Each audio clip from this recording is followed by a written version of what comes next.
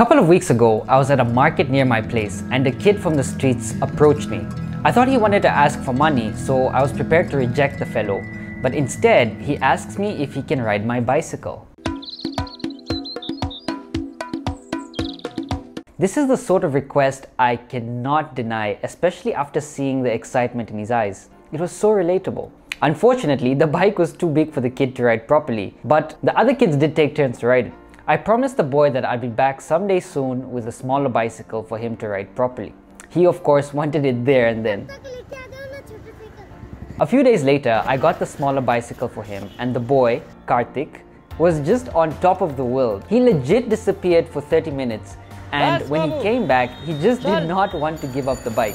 I totally understood that feeling. So I put these same visuals up on my Instagram story followed by a request to help me buy him a bicycle of his own. The reactions I got were uh, overwhelming as Friends, acquaintances, and supporters instantly responded and offered contributions from all over the world. By the time I sent one person my bank details, there were already four more people asking to contribute. It was an exhilarating one hour before I realized I had enough money to buy the kid a bicycle factory.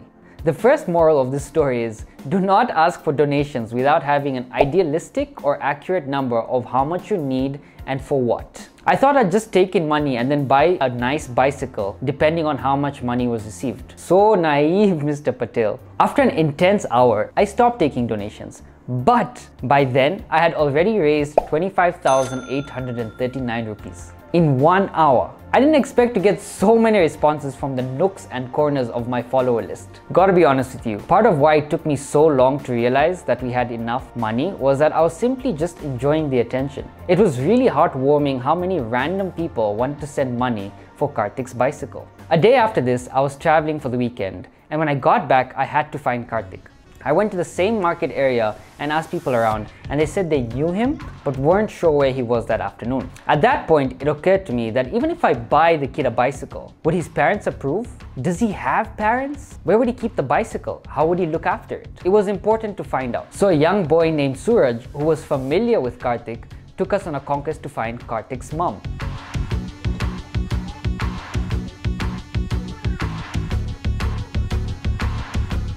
We walked around and eventually found her. When I told her I wanted to buy a bicycle for her son, she was like, nah fam. She said it was a bad idea because the boys don't listen to her, they ride the bicycles very rough, and also that Karthik's elder brother would get jealous and they would fight.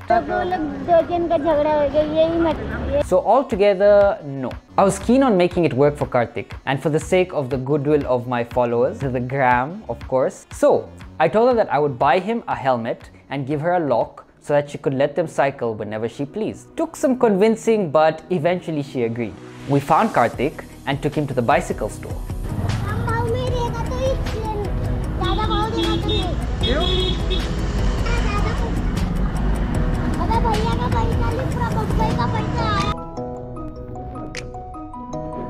It all became quite an affair. All the kids got excited and Karthik was just over the moon. The boy finally got his bicycle. It cost 4,800 rupees, meaning I had a lot more money to spend, but more on that later. They did a prayer and welcomed the new pair of wheels with a bit of a ritual. Cute, right? Yeah, then the afternoon got really hectic. Karthik's mom was right. The bicycle invited quite a bit of envy and jealousy from the other boys including Karthik's brother. It soon became evident that the absence of adult supervision made this affair a lot more complex and annoying than it should have been. Karthik's brother was on an emotional rampage, which turned physical at some point. He attacked Karthik and the boys fought like MMA style on the side of the road. I know, I know, I owe you guys the footage, but uh, I didn't take it because I was breaking up the fight. Sorry, next time. Second moral of the story, do not buy a bicycle for underprivileged kids if they do not have adult supervision or someone to guide and look after them and the bike. As I spent that afternoon trying to calm things down, I realized that this wouldn't work. The boys' mom wasn't around and it didn't seem like she had much control over them. So I spoke to Suraj, the kid that helped us earlier, and made an arrangement with him.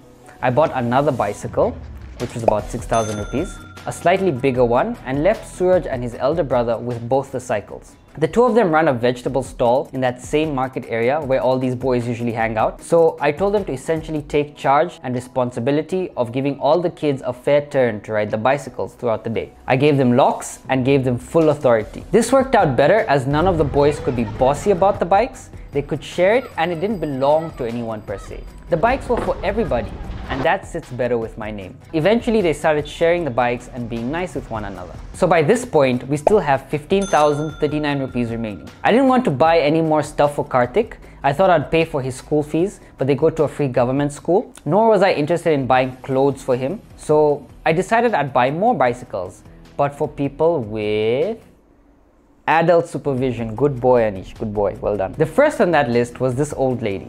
I've known for a while that she looks after her grandson who was abandoned by both parents. The kid was sweet and actually one of the only kids who didn't complain or ask for a bike when Karthik got his. The old lady told me she had space to keep the bicycle for the boy, so with her approval and blessings, I got him a bicycle too.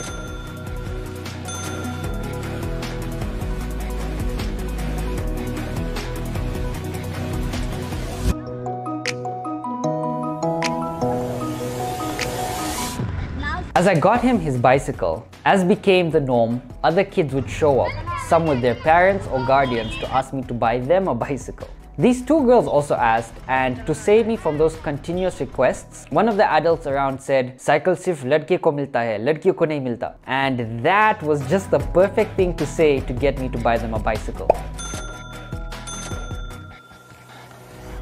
So I spoke to their mom, and the next day I bought the girls an even better bicycle than any of the other before.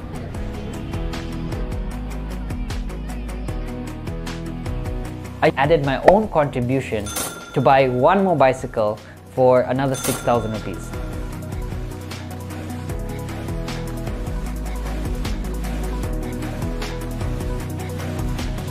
I bought this one for Mina, the lady who tied me a Rakhi this year because I didn't get to go home. Meena has a young boy and girl at home, and the last bicycle was our, our gift to them. And just like that, with one Instagram story, we generated enough money in an hour to buy five bicycles for many children to enjoy. What a turnaround 2020 became for them, don't you think? Quite a journey, I gotta be honest with you. You can have the right intentions, but if you don't conduct that with thoughtful and appropriate action, it can backfire real quick. I kind of stumbled my way through finding out what that action is, but that's the point of sharing it with you raw, that we all learn and grow together.